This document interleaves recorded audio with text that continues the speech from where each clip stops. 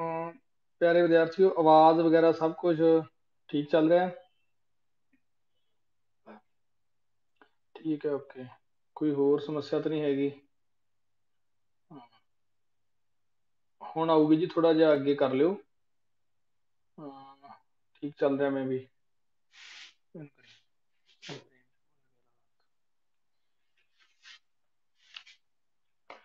ਜਿਹੜਾ ਹੈ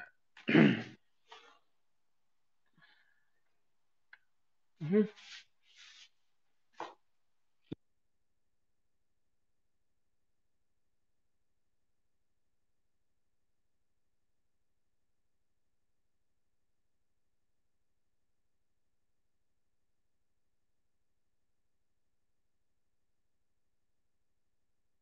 ਆ ਰਿਹਾ ਮੈਨੂੰ ਆਪਣੇ ਫੋਨ ਤੇ ਲਾਈਵ ਦੇ ਦਿਓ।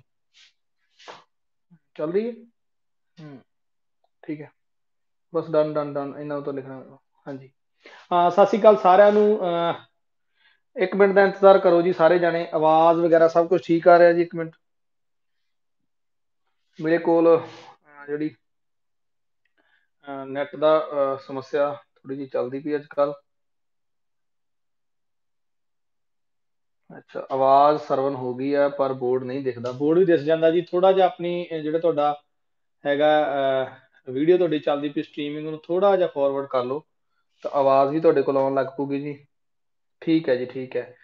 ਬਸ ਬਸ ਆ ਲੈਣ ਦੇ ਨਾਲ ਆਪਣੇ ਕੋਲ। ਬਾਕੀ ਇੱਕ ਵਾਰੀ ਉਹਨਾਂ ਚਿਰ ਲਾਈਕ ਕਰ ਦਿਓ ਸਾਰੇ ਜਿਹੜੇ ਆਪਣੀ ਵੀਡੀਓ ਨੂੰ। ਤਾਂ ਫਸਟ ਡੇ ਕਲਾਸ ਇਹ ਕਹਿੰਦੇ ਲਾਡੀ ਮੋੜ ਜੀ ਕਹਿ ਰਹੇ ਨੇ। ਠੀਕ ਹੈ ਜੀ। ਕਹਾਣੀਕਾਰ ਸੁਜਾਨ ਸਿੰਘ ਹੋਰਾਂ ਬਾਰੇ ਆਪਾਂ ਗੱਲਬਾਤ ਕਰਨੀ ਹੈ। ਠੀਕ ਆ ਰਿਹਾ ਸਾਰਾ ਕੁਝ ਓਕੇ ਡਨ ਮੇਰੇ ਮੇਰੇ ਕੋਲ ਉਹਦਾ ਸਾਈਟ ਮੈਨੂੰ ਫੋਨ ਤੇ ਦੇ ਦੇ ਯਾਰ ਜੀ, ਸ਼ਾਇਦ। ਜੇ ਵਧੀਆ ਲੱਗੇ, ਆਪਦੇ ਫੋਨ ਤੇ। ਠੀਕ ਹੈ ਡਨ ਤੇ ਨਹੀਂ ਹਜੇ ਸਾਰਿਆਂ ਨੇ ਲਾਈਕ ਨਹੀਂ ਕੀਤਾ। ਸਾਰੇ ਇੱਕ ਵਾਰੀ ਲਾਈਕ ਕਰ ਦਿਓ ਆਪਾਂ ਸ਼ੁਰੂ ਕਰਦੇ ਹਾਂ। ਲੋ ਜੀ ਦੋਸਤੋ ਆ ਲੈਣ ਦਿਓ ਸਾਰਿਆਂ ਨੂੰ ਆ ਲੈਣ ਦਿਓ। ਕਾਫੀ ਦਿਨਾਂ ਬਾਅਦ ਆਪਾਂ ਅਹ, ਅਹ, YouTube ਦੇ ਉੱਪਰ ਲਾਈਵ ਹੋਏ ਹਾਂ। ਪਹਿਲੀ ਪਹਿਲਾਂ ਤਾਂ ਸਾਰਿਆਂ ਨੂੰ ਹੈਪੀ ਦੁਸਹਿਰਾ।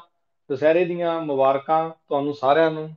ਅਹ, ਸ਼ੁਕਰੀਆ ਜੀ, ਬਹੁਤ ਟਾਈਮ ਬਾਅਦ ਲਾਈਵ ਹੋਏ ਆ, ਹਾਂਜੀ ਹਾਂਜੀ। ਅਸੀਂ ਥੋੜਾ ਜਿਹਾ ਨਾ ਸਾਡਾ ਜਿਹੜਾ ਕਲਾਸਿਸ ਦਾ ਜਿਹੜਾ ਸ਼ਡਿਊਲ ਸੀ, ਉਹਦੇ 'ਚ ਬਿਜ਼ੀ ਸੀ। ਕੁਝ ਮੇਰਾ ਥੋੜਾ ਸਰਵਾਈਕਲ ਹੋ ਗਿਆ ਸੀ ਮੈਨੂੰ ਵਿੱਚ ਦੀ।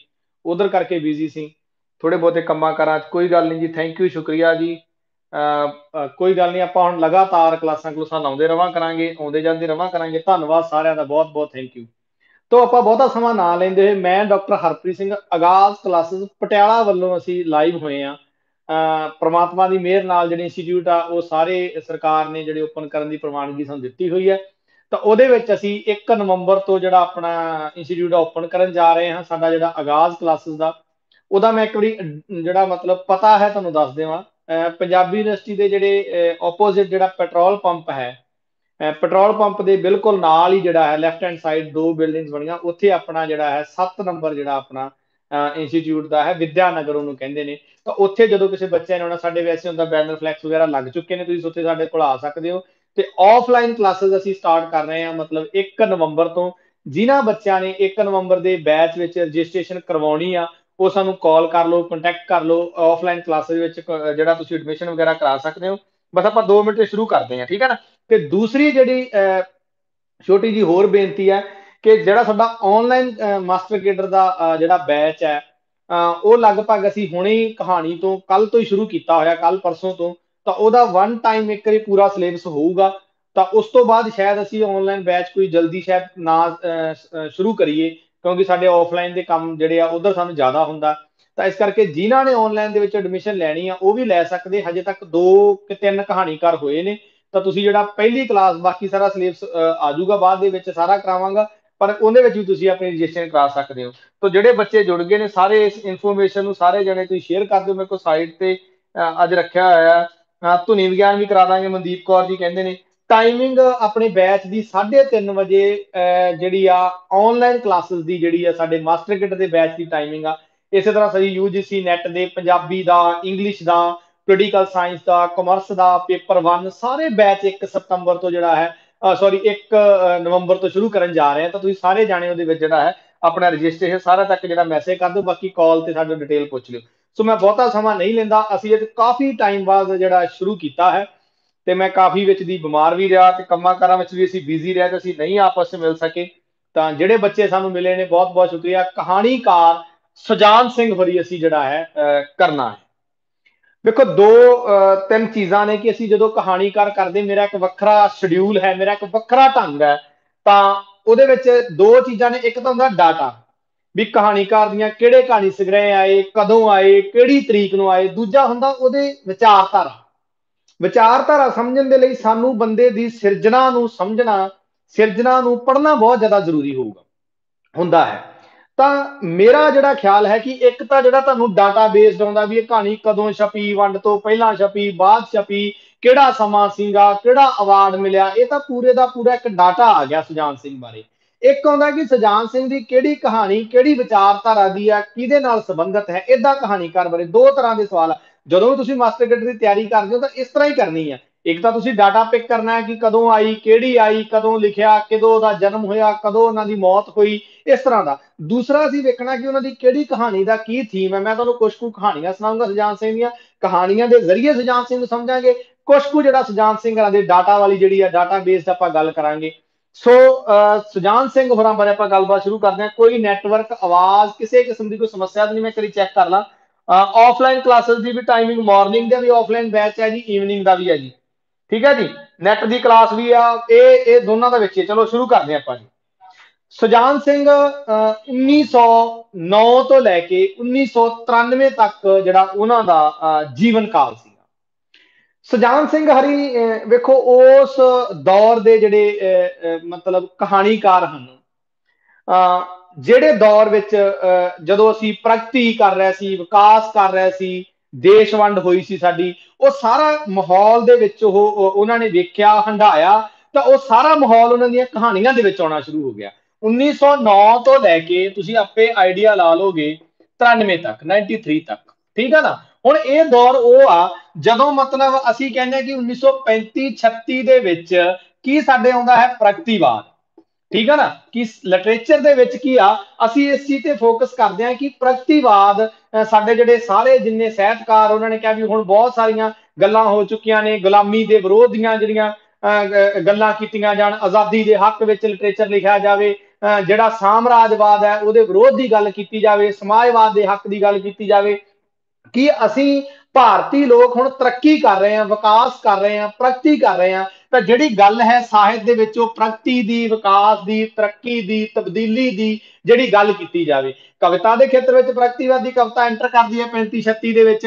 ਇਸੇ ਤਰ੍ਹਾਂ ਹੀ ਜੇ ਮੈਂ ਕਹਿਣਾ ਹੋਵੇ, ਨਾਵਲ ਦੇ, ਕਹਾਣੀ ਦੇ, ਮਤਲਬ ਜਿੰਨੀਆਂ ਵੀ ਸਿਨਫਾਂ ਜਿਹੜੀਆਂ ਨੇ ਸਾਹਿਤ ਦੀਆਂ ਨੇ, ਪੰਜਾਬੀ ਸਾਹਿਤ ਦੀਆਂ ਨੇ, ਸਾਰੀਆਂ ਵਿੱਚ ਪ੍ਰਗਤੀਵਾਦੀ ਲਿਟਰੇਚਰ ਜਿਹੜਾ ਆਉਣਾ ਸ਼ੁਰੂ ਹੁੰਦਾ ਤੇ ਸਾਡੇ ਜਿਹੜੇ ਸਾਹਿਤਕਾਰ ਨੇ ਉਹ ਜਿਹੜੇ ਆ ਪ੍ਰਗਤੀਵਾਦੀ ਸੁਭਾਅ ਲੈ ਕੇ ਆਉਂਦੇ ਆ। ਜਿੱਦਾਂ ਕਿ ਅਸੀਂ ਵੇਖਦੇ ਹਾਂ ਕਿ ਕਵਿਤਾ ਦੇ ਵਿੱਚ ਪ੍ਰੋਫੈਸਰ ਮੋਹਨ ਸਿੰਘ, ਅਮਰਤਾ, ਪ੍ਰੀਤਮ ਠੀਕ ਹੈ ਨਾ, ਬਾਬਾ ਬਲਵੰਤ ਹੋਰੀ ਜਿਹੜੇ ਵੱਡੇ ਜਿਹੜੇ ਸਾਡੇ ਥੰਮ ਨੇ ਪੰਜਾਬੀ ਕਵਿਤਾ ਦੇ, ਉਹ ਆਉਂਦੇ ਨੇ ਸਾਡੇ ਕੋਲ ਜਿਹੜੇ ਆ ਜਿਹੜੇ ਪ੍ਰਗਤੀ ਦੀ, ਵਿਕਾਸ ਦੀ, ਤਰੱਕੀ ਦੀ, ਮਜ਼ਦੂਰਾਂ ਦੇ ਹੱਕ ਵਿੱਚ, ਪੂੰਜੀਵਾਦ ਦੇ ਵਿਰੋਧ ਵਿੱਚ ਕਵਿਤਾ ਲਿਖਦੇ ਆ, ਇਸੇ ਤਰ੍ਹਾਂ ਸਾਡੇ ਕੋਲ ਕਹਾਣੀ ਦੇ ਖੇਤਰ ਵਿੱਚ ਪ੍ਰਗਤੀਵਾਦੀ, ਸਮਾਜਵਾਦੀ ਜੇ ਦ੍ਰਿਸ਼ਟੀ ਜਾਂ ਬਿਰਤੀ ਰੱਖਣ ਵਾਲੇ ਬਹੁਤ ਸਾਰੇ ਕਹਾਣੀਕਾਰ ਆਉਂਦੇ ਆ। ਸੁਜਾਨ ਸਿੰਘ ਉਹਨਾਂ ਵਿੱਚੋਂ ਇੱਕ ਪ੍ਰਮੁੱਖ ਕਹਾਣੀਕਾਰ ਹੈ। ਸੁਜਾਨ ਸਿੰਘ ਬਾਰੇ ਜੇ ਤੁਹਾਨੂੰ ਸਵਾਲ ਆ ਜਾਵੇ, ਸੁਜਾਨ ਸਿੰਘ ਪੰਜਾਬੀ ਦੇ ਪ੍ਰਗਤੀਵਾਦੀ ਸਮਾਜਵਾਦੀ ਬਿਰਤੀ ਦੇ, ਪ੍ਰਗਤੀਵਾਦੀ, ਸਮਾਜਵਾਦੀ ਦ੍ਰਿਸ਼ਟੀ ਦੇ ਸਾਡੇ ਜਿਹੜੇ ਨੇ ਉਹ ਕਹਾਣੀਕਾਰ ਨੇ। ਉਹਨਾਂ ਦੀ ਜਿਹੜੀ ਕਹਾਣੀ ਸਿਰਜਣਾ ਹੈ, ਉਹਨਾਂ ਦਾ ਜਿਹੜਾ ਕਹਾਣੀ ਲਿਖਣ ਹੈ, ਉਹਦੇ ਪਿੱਛੇ ਉਹਨਾਂ ਦੀ ਮਾਰਕਸਵਾਦੀ ਵਿਚਾਰਧਾਰਾ ਜਿਹੜੀ ਆ, ਉਹ ਕੰਮ ਕਰਦੀ ਆ ਕਿ ਜਿਹਦੇ ਵਿੱਚ ਪੂੰਜੀਵਾਦ ਦਾ ਵਿਰੋਧ ਹੈ ਮਜ਼ਦੂਰਾਂ ਦੇ ਹੱਕ ਦੀ ਗੱਲ ਹੈ। ਮੈਂ ਤੁਹਾਨੂੰ ਨੋਟ ਪਹਿਲਾਂ ਤੁਸੀਂ ਇਹਨਾਂ ਬਾਰੇ ਇਹ ਦੋ ਤਿੰਨ ਚੀਜ਼ਾਂ ਨੋਟ ਹੀ ਕਰ ਲਿਓ ਕਿ ਇਹਨਾਂ ਬਾਰੇ ਨਾ ਤੁਹਾਨੂੰ ਪੁੱਛੂਗਾ ਹੀ ਇਦਾਂ ਦਾ ਕਿ ਸੁਜਾਨ ਸਿੰਘ ਕਿਹੜੀ ਵਿਰਤੀ ਦਾ, ਕਿਹੜੀ ਦ੍ਰਿਸ਼ਟੀ ਦਾ ਹੈ। ਮੈਂ ਤੇ ਲਿਖਦਾ, ਪ੍ਰਗਤੀਵਾਦੀ, ਸਮਾਜਵਾਦੀ, ਯਥਾਰਥਵਾਦੀ। ਠੀਕ ਹੈ ਨਾ? ਇਹ ਪ੍ਰਗਤੀਵਾਦ, ਸਮਾਜਵਾਦ, ਯਥਾਰਥਵਾਦ ਕਾਹਦਾ ਹੈ? ਕਿ ਪੰਜਾਬੀ ਸਮਾਜ ਜਿਹੜਾ ਬਦਲਦਾ ਪੰਜਾਬੀ ਸਮਾਜ ਹੈ। ਠੀਕ ਹੈ ਨਾ? ਬਦਲਦਾ ਪੰਜਾਬੀ ਸਮਾਜ ਹੈ। ਕਿਹਦੇ ਵਿੱਚ? ਜਿਹਦੇ ਵਿੱਚ ਕੀ ਆ ਗਈ ਆ? ਦੇਸ਼ਵੰਡ ਆ ਗਈ ਆ। ਪੂੰਜੀਵਾਦ ਦਾ ਵਿਰੋਧ ਆ ਗਿਆ ਹੈ। ਠੀਕ ਹੈ ਨਾ? ਸਾਮਰਾਜਵਾਦ ਦਾ ਵਿਰੋਧ ਆ ਗਿਆ ਹੈ। ਠੀਕ ਹੈ ਨਾ? ਅੰਗਰੇਜ਼ੀ ਸਾਮਰਾਜਵਾਦ ਹੈ। ਉਹਦਾ ਵਿਰੋਧ ਆ ਗਿਆ ਹੈ। ਮਜ਼ਦੂਰ ਦੇ ਹੱਕ ਦੀ ਗੱਲ ਹੈ। ਠੀਕ ਹੈ ਨਾ? ਜਾਂ ਮੈਂ ਕਹਿਣਾ ਹੋਵੇ, ਇਹ ਸਾਰਾ ਜਿਹੜਾ ਸੁਜਾਨ ਸਿੰਘ ਦੀ ਕਹਾਣੀ ਵਿੱਚ ਵੇਖਣ ਨੂੰ ਮਿਲਦਾ। ਜਾਂ ਮੈਂ ਕਹਿਣਾ ਹੋਵੇ, ਸੰਘਰਸ਼ ਦੀ ਗੱਲ ਆਉਂਦੀ ਹੈ। ਠੀਕ ਹੈ ਨਾ? ਸੰਘਰਸ਼ ਦੇ ਵਿੱਚ ਕੀ ਆ? ਬੁਨਿਆਦੀ ਰੂਪ ਦੇ ਵਿੱਚ ਜੇ ਮੈਂ ਕਹਿਣਾ ਹੋਵੇ ਕਿ ਜਿੰਨੀਆਂ ਜਿਵੇਂ ਯੂਨੀਅਨ ਨੇ ਜਿਹੜੇ ਜਿੱਦਾਂ ਕਿ ਮੈਂ ਕਹਿਣਾ ਹੋਵੇ ਕਿ ਪੰਜਾਬ ਦੇ ਵਿੱਚ ਜਿਹੜੀ ਆਜ਼ਾਦੀ ਪ੍ਰਾਪਤੀ ਦੀ ਇੱਕ ਲਹਿਰ ਚੱਲਦੀ ਹੈ ਆਜ਼ਾਦੀ ਪ੍ਰਾਪਤੀ ਤੋਂ ਬਾਅਦ ਦੇ ਵਿੱਚ ਜਿੰਨੇ ਵੀ ਸਾਡੇ ਆ ਕੋਈ ਆ ਟੈਕਸ ਮੋਰਚਾ ਜਾਂ ਇਸ ਤਰ੍ਹਾਂ ਦੇ ਬਹੁਤ ਸਾਰੀਆਂ ਜਿੰਨੀਆਂ ਵੀ ਟੈਕਸੂ ਲਹਿਰ ਜਿੰਨੀਆਂ ਲਹਿਰਾਂ ਚੱਲਦੀਆਂ ਨੇ, ਉਹਨਾਂ ਲਹਿਰਾਂ ਦੇ। ਸੋ ਸਜਾਨ ਸਿੰਘ ਅਜਿਹਾ ਕਹਾਣੀਕਾਰ ਹੈ, ਜਿਹੜਾ ਪ੍ਰਗਤੀਵਾਦੀ, ਸਮਾਜਵਾਦੀ ਦ੍ਰਿਸ਼ਟੀ ਬਣਾਉਂਦਾ ਹੈ, ਮਾਰਕਸਵਾਦੀ ਵਿਚਾਰਧਾਰਾ ਜਿਨ੍ਹਾਂ ਨੇ ਅਪਣਾ ਕੇ ਜਿਹੜੀ ਆ ਰੱਖੀ ਸੀਗੀ। ਇਸੇ ਕਰਕੇ ਉਹਨਾਂ ਦੀਆਂ ਲਗਭਗ ਸਾਰੀਆਂ ਕਹਾਣੀਆਂ ਵਿੱਚ ਇਸ ਤਰ੍ਹਾਂ ਦਾ, ਇਸ ਤਰ੍ਹਾਂ ਦਾ ਵਿਜ਼ਨ ਉਹਨਾਂ ਦਾ ਜਿਹੜਾ ਹੈ, ਵੇਖਣ ਨੂੰ ਜਿਹੜਾ ਸਾਡੇ ਕੋਲ ਮਿਲਦਾ ਹੈ। ਤਾਂ ਦੂਸਰੀ ਚੀਜ਼, ਉਹਨਾਂ ਨੇ ਮਜ਼ਦੂਰਾਂ ਮਜ਼ਦੂਰਾਂ ਦੀ ਜਿਹੜੀ ਤਰਸਯੋਗ ਹਾਲਤ ਆ ਨਾ, ਉਹਦਾ ਮਖੌਲ ਨਹੀਂ ਉਡਾਇਆ। ਸਜਾਨ ਸਿੰਘ ਐਸੇ ਕਹਾਣੀਕਾਰ ਆ, ਜਿਨ੍ਹਾਂ ਨੇ ਮਜ਼ਦੂਰਾਂ ਦੀ ਹਾਲਤ ਦਾ ਜਿਹੜਾ ਹੈ ਮਖੌਲ ਨਹੀਂ ਡਾਇਆ ਬਲਕਿ ਉਹਨਾਂ ਨਾਲ ਹਮਦਰਦੀ ਪ੍ਰਗਟ ਕੀਤੀ ਆ। ਤਾਂ ਸਜਾਨ ਸਿੰਘ ਦੀ ਕਹਾਣੀ ਮਜ਼ਦੂਰਾਂ ਨਾਲ ਹਮਦਰਦੀ ਦੀ ਕਹਾਣੀ ਹੈ ਔਰਤਾਂ ਨਾਲ, ਔਰਤਾਂ ਦੀ ਜਿਹੜੀ ਤਰਸਯੋਗ ਸਥਿਤੀ ਆ, ਉਹਨੂੰ ਪੇਸ਼ ਕਰਨ ਵਾਲੀ ਜਿਹੜੀ ਕਹਾਣੀ ਹੈ, ਜੇ ਮੈਂ ਕਹਿਣਾ ਹੋਵੇ ਕਿ ਉਹਨਾਂ ਦੀਆਂ ਕਹਾਣੀਆਂ ਦੇ ਵਿੱਚ ਉਹਨਾਂ ਨੇ ਔਰਤਾਂ ਦੇ, ਔਰਤਾਂ ਤੇ ਮਜ਼ਦੂਰਾਂ ਦੇ ਜਿਹੜੇ ਹਾਲਾਤ ਨੇ, ਉਹਨਾਂ ਨੂੰ ਬਿਹਤਰ ਬਣਾਉਣ ਦੇ ਲਈ ਉਹਨਾਂ ਨੇ ਕਹਾਣੀ ਲਿਖੀ, ਸਜਾਨ ਸਿੰਘ ਹੋਰਾਂ ਨੇ। ਇਹ ਪਰ ਉਹਨਾਂ ਦਾ ਜਿਹੜਾ ਧਰਾਤਲ ਰਹਿੰਦਾ ਹੈ, ਜਿਹੜਾ ਉਹਨਾਂ ਦਾ ਏਰੀਆ ਰਹਿੰਦਾ ਹੈ ਉਹਨਾਂ ਦਾ ਪਿੰਡੂ ਧਰਾਤਲ, ਪਿੰਡੂ ਜਿਹੜਾ ਖੇਤਰ ਜਿਹੜਾ ਉਹਨਾਂ ਦੀਆਂ ਕਹਾਣੀਆਂ ਦਾ ਜਿਹੜਾ ਪਲਾਟ ਲੈਂਦੇ ਆ ਗੋਨ ਦੇ ਉੱਪਰ ਸਭ ਤੋਂ ਜ਼ਿਆਦਾ ਉਹ ਜ਼ੋਰ ਦਿੰਦੇ ਆ। ਕਹਾਣੀ ਪਲਾਟ ਦੇ ਉੱਪਰ ਸਭ ਤੋਂ ਜ਼ਿਆਦਾ ਜ਼ੋਰ ਦਿੰਦਾ ਸੁਜਾਨ ਸਿੰਘ। ਪਰ ਉਹਦਾ ਜਿਹੜਾ ਪਲਾਟ ਹੈ, ਉਹ ਪਿੰਡੂ ਏਰੀਆ, ਪਿੰਡੂ ਧਰਤ ਰਹਿੰਦਾ ਹੈ। ਪਰ ਉਹਦਾ ਜਿਹੜਾ ਮੈਸੇਜ ਹੈ ਕਹਾਣੀ ਦਾ, ਜਿਹੜਾ ਸੁਭਾਅ ਹੈ, ਉਹ ਇਹ ਆ ਕਿ ਭਾਈ ਉਹ ਆਸ਼ਾਵਾਦੀ ਕਹਾਣੀਕਾਰ ਹੈ। ਸਮਾਜ ਦੀ ਤਬਦੀਲੀ ਦੀ, ਸਮਾਜ ਦੇ ਬਦਲਾਅ ਦੀ ਗੱਲ ਕਰਨ ਵਾਲੇ ਜਿਹੜੇ ਸੁਜਾਨ ਸਿੰਘ ਅੜੀ ਕਹਾਣੀਕਾਰ ਹਨ, ਉਹਨਾਂ ਨੇ ਦੇਸ਼ ਵੰਡ ਨਾਲ ਸੰਬੰਧਿਤ ਵੀ ਕਹਾਣੀਆਂ ਲਿਖੀਆਂ। ਦੇਸ਼ ਵੰਡ ਸੰਬੰਧਿਤ ਵਿੱਚ ਜਿਹੜਾ ਆ ਮਨੁੱਖੀ ਵਿਹਾਰ ਆ, ਜਿਹਦੇ ਵਿੱਚ ਇਹ ਚੀਜ਼ ਨਹੀਂ ਵੇਖੀ ਜਾਂਦੀ ਕਿ ਇਹ ਭਾਈ ਮਨੁੱਖ ਹੈ। ਜਿਹਦੇ ਵਿੱਚ ਧਰਮ ਦੇ ਨਾਂ ਤੇ, ਜਿਹਦੇ ਵਿੱਚ ਨਸਲ ਦੇ ਨਾਂ ਤੇ ਜੋ ਦੰਗੇ ਹੋਏ, ਜੋ ਫਿਰਕਾ ਪ੍ਰਸਤੀ ਹੋਈ, ਉਸ ਦ੍ਰਿਸ਼ਟੀ ਦੀਆਂ, ਉਸ ਵਿਜ਼ਨ ਦੀਆਂ ਜਿਹੜੀਆਂ ਨੇ, ਸਜਾਨ ਸਿੰਘ ਹੋਰਾਂ ਨੇ ਜਿਹੜੀਆਂ ਨੇ ਕਹਾਣੀਆਂ ਲਿਖੀਆਂ ਨੇ। ਉਹ ਅਗਾਹ ਵਧੂ, ਯਥਾਰਥਵਾਦੀ ਬਿਰਤੀ ਦੇ ਕਹਾਣੀਕਾਰ ਸਨ। ਜੇ ਤੁਹਾਨੂੰ ਇਹ ਸਾਰਾ ਕੁਝ ਯਾਦ ਰੱਖਿਓ, ਅਗਾਹ ਵਧੂ ਹੈ, ਆਸ਼ਾਵਾਦੀ ਹੈ, ਯਥਾਰਥਵਾਦੀ ਉਹਨਾਂ ਦੀ ਬਿਰਤੀ ਹੈ। ਤੇ ਠੀਕ ਹੈ ਨਾ, ਮੈਂ ਤੁਹਾਨੂੰ ਇੱਕ ਹੋਰ ਗੱਲ ਦੱਸਦਾ। ਜਦੋਂ ਸੁਜਾਨ ਸਿੰਘ ਆ ਨਾ, ਸੁਜਾਨ ਸਿੰਘ ਹੋਰੀ ਜਦੋਂ ਕਹਾਣੀ ਲਿਖਣੀ ਸ਼ੁਰੂ ਕਰਦੇ, ਉਹ ਆਦਰਸ਼ਵਾਦੀ ਕਹਾਣੀ ਰਹਿੰਦੀ ਹੈ। ਪਰ ਬਾਅਦ ਦੇ ਵਿੱਚ ਜਾ ਕੇ ਉਹ ਜਿਹੜਾ ਉਹਨਾਂ ਦਾ ਸੁਭਾਅ, ਉਹਨਾਂ ਦਾ ਝੁਕਾਅ ਜਿਹੜਾ ਹੈ, ਉਹ ਪ੍ਰਗਤੀਵਾਦ ਵੱਲ ਹੋ ਜਾਂਦਾ ਹੈ। ਸੁਜਾਨ ਸਿੰਘ ਦੀ ਜਿਹੜੀ ਕਹਾਣੀ ਆ ਪੂਰੀ, ਆਵਾਜ਼ ਵਗੈਰਾ ਸਭ ਕੁਝ ਠੀਕ ਆ ਰਹੀ, ਮੈਂ ਚੈੱਕ ਕਰ ਲਵਾਂ। ਸਭ ਕੁਝ ਠੀਕ ਚੱਲਦਾ ਪਿਆ, ਸਾਰਿਆਂ ਨੂੰ ਸਮਝ ਆ ਰਹੀ ਹੈ ਜੀ?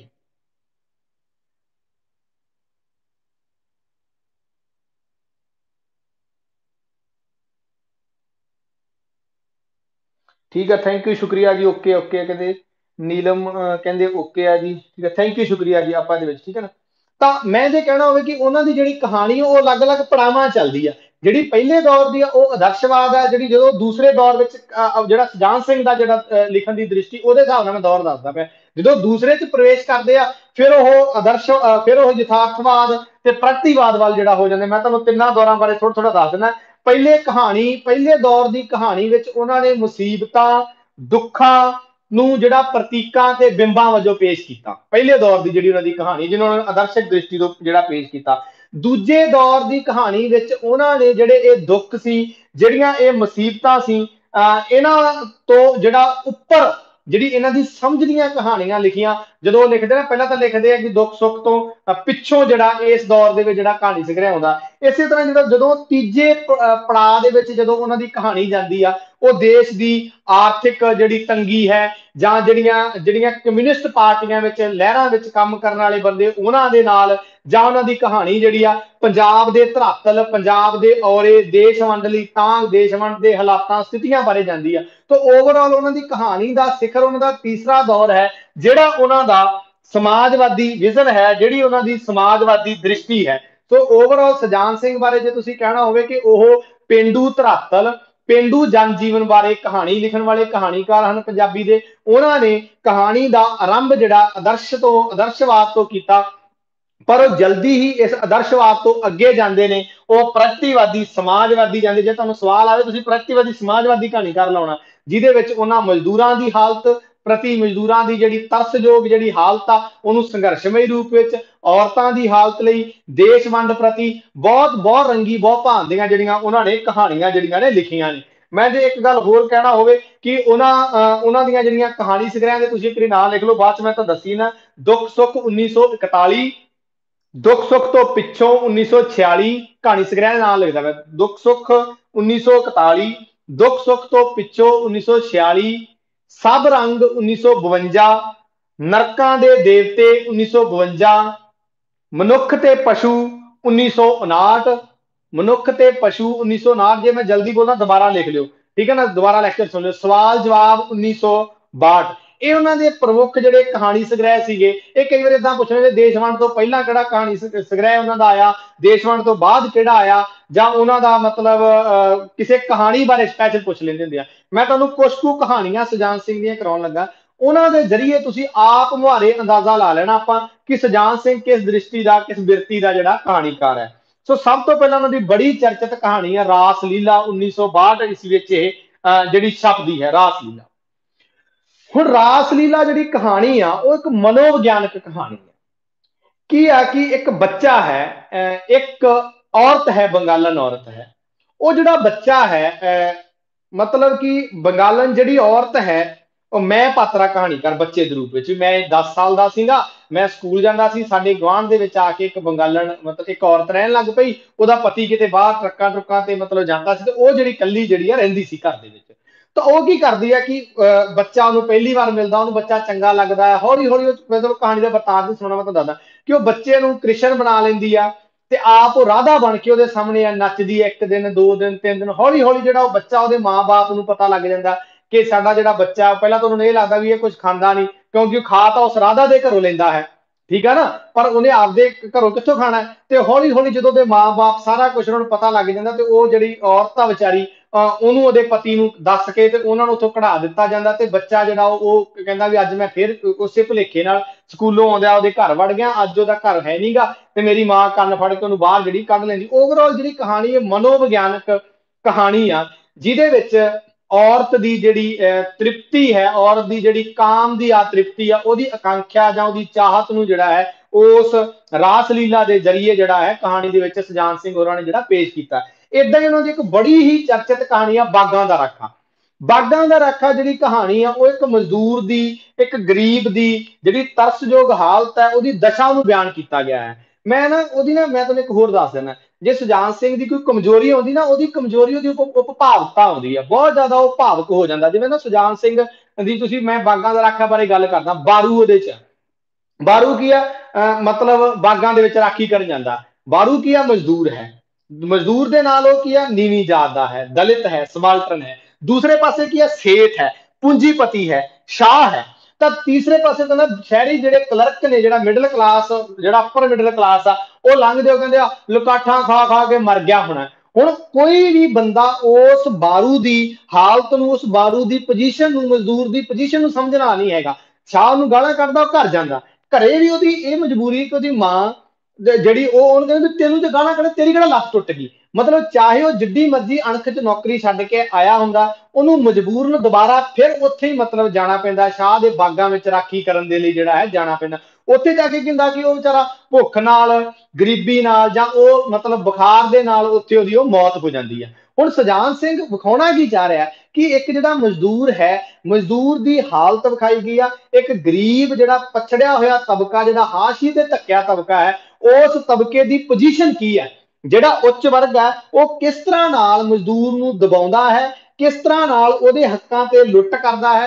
ਕਿਸ ਤਰ੍ਹਾਂ ਨਾਲ ਉਹ ਉਹਦੀ ਮੌਤ ਲਈ ਜ਼ਿੰਮੇਵਾਰ ਬਣਦਾ ਹੈ? ਤਾਂ ਬਾਰੂ ਦੇ ਜ਼ਰੀਏ ਉਹਨੇ ਪੂਰਨ ਰੂਪ ਦੇ ਵਿੱਚ ਇੱਕ ਮਜ਼ਦੂਰ ਦੀ ਜਿਹੜੀ ਜਿਹੜੀ ਸਥਿਤੀ ਆ, ਉਹਨੂੰ ਨੇ ਪ੍ਰਗਤੀਵਾਦੀ, ਸਮਾਜਵਾਦੀ ਦ੍ਰਿਸ਼ਟੀ ਤੋਂ ਬਿਆਨ ਕੀਤਾ। ਜੇ ਕਹਾਣੀ ਦਾ ਤੁਹਾਨੂੰ ਥੀਮ ਆ ਜੇ, ਤਾਂ ਪ੍ਰਗਤੀਵਾਦੀ, ਸਮਾਜਵਾਦੀ ਆ, ਮਜ਼ਦੂਰ ਦੀ ਜਿਹੜੀ ਸਥਿਤੀ ਆ, ਉਹ ਪਰ ਜਾਤ ਪਾਤ ਨਾਲ ਸੰਬੰਧਿਤ ਜਿਹੜਾ ਹੈ ਉਹਨੇ ਉਹਦੇ ਵਿੱਚ ਜਿਹੜੀਆਂ ਹਵਾਲੇ ਕੁਝ ਦਿੱਤੇ ਨੇ, ਉਹ ਜ਼ਿਆਦਾ ਇੱਕ ਟਾਈਮ ਤੋਂ ਸਾਨੂੰ ਲੱਗਦਾ ਕਿ ਜਦੋਂ ਗਾਂਧੀ ਬਾਰੇ ਜਾਂ ਉਹ ਗਾਂਧੀਆਂ ਜਾਤ ਬਾਰੇ ਡਾਕਟਰ ਅੰਬੇਦਕਰ ਸਾਹਿਬ ਹੋਰਾਂ ਤੋਂ ਲੈ ਕੇ ਉਹ ਮਤਲਬ ਪੂਰਨ ਰੂਪ ਦੇ ਵਿੱਚ ਸਾਰਾ ਉਹ ਜਾਤ ਜਾਤ ਪਾਤੀ ਜੋ ਸਾਡਾ ਭਾਰਤੀ ਤੰਤਰ ਚ ਉਹਦੇ ਨਾਲ ਉਹ ਜਿਹੜਾ ਬਿਆਨ ਕਰਦਾ ਹੈ। ਸੋ ਇਹ ਕਹਾਣੀ ਬਾਰੇ ਸਵਾਲ ਆ ਜਾਵੇ, ਤਾਂ ਪ੍ਰਗਤੀਵਾਦੀ ਸਮਾਜਵਾਦੀ ਆ, ਰਾਸਲੀਲਾ ਬਾਰੇ ਆ ਜਾਵੇ, ਤਾਂ ਮਨੋਵਿਗਿਆਨਕ ਕਹਾਣੀ ਹੈ ਜਿਹੜੀ ਔਰਤ ਦੀ ਅਤ੍ਰਿਪਤ ਜਿਹੜੀ ਆਕਾਂਖਿਆ ਹੈ, ਉਹਦੀ ਚਾਹਤ ਹੈ, ਉਹਦੀ ਖਾਹਿਸ਼ਾਂ ਦੀ ਜਿਹੜੀ ਕਹਾਣੀ ਹੈ। ਇਸੇ ਤਰ੍ਹਾਂ ਹੀ ਉਹਦੀ ਕੁਲਫੀ ਕਹਾਣੀ ਹੈ। ਕੁਲਫੀ ਕਹਾਣੀ ਬਾਰੇ ਵੀ ਸਵਾਲ ਆ ਜਾਵੇ, ਉਹ ਵੀ ਪ੍ਰਗਤੀਵਾਦੀ ਹੈ ਕਿ ਮਜ਼ਦੂਰ ਹੈ। ਮੈਂ ਤੁਹਾਨੂੰ ਇੱਕ ਗੱਲ ਦੱਸਾਂ, ਜਿਹੜਾ ਨਾ ਸੁਜਾਨ ਸਿੰਘ ਹੈ, ਸੁਜਾਨ ਸਿੰਘ ਕਲਾ ਸਮਾਜ ਲਈ ਜਿਹੜੀ ਆ ਵਿਚਾਰਧਾਰਾ ਦਾ ਜਿਹੜਾ ਧਾਰਨੀ ਹੈ